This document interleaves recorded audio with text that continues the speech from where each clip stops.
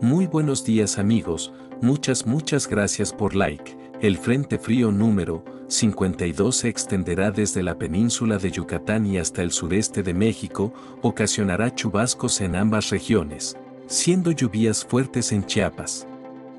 La masa de aire frío asociada al frente modificará sus características térmicas en el transcurso de la tarde, favoreciendo un ascenso de las temperaturas vespertinas. Sin embargo, generará bancos de niebla en zonas altas del oriente y sureste mexicano, viento de componente norte con rachas de 60 a 80 km per hora en el istmo y golfo de Tehuantepec Rachas de 40 a 60 km per hora en la península de Yucatán, disminuyendo gradualmente durante la tarde.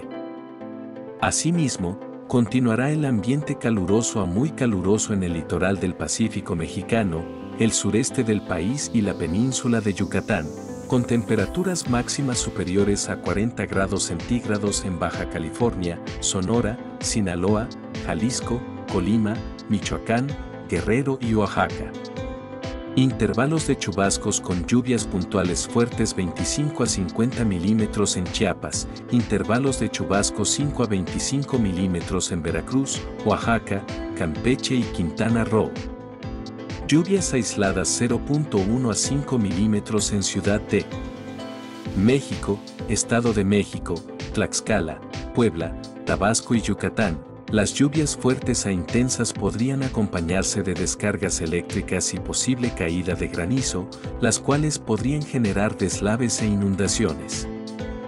Además del aumento en los niveles de ríos y arroyos, pronóstico de temperaturas máximas para hoy 30 de abril de 2023, temperaturas máximas de 40 a 45 grados C, Baja California, Sonora, Sinaloa, Jalisco, Colima, Michoacán, Guerrero y Oaxaca, temperaturas máximas de 35 a 40 grados C, Coahuila, Nuevo León, Nayarit y Morelos.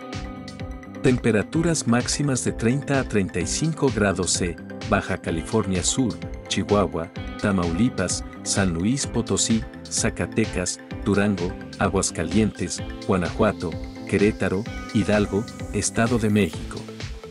Suroeste, Puebla, Suroeste, Veracruz, Tabasco, Chiapas, Campeche, Yucatán y Quintana Roo.